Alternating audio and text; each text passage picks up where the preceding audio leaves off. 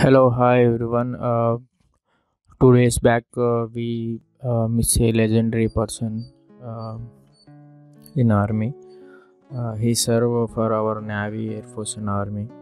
Uh, I am giving a tribute for him. Uh, I will. I am making a painting for a conceptual painting for him.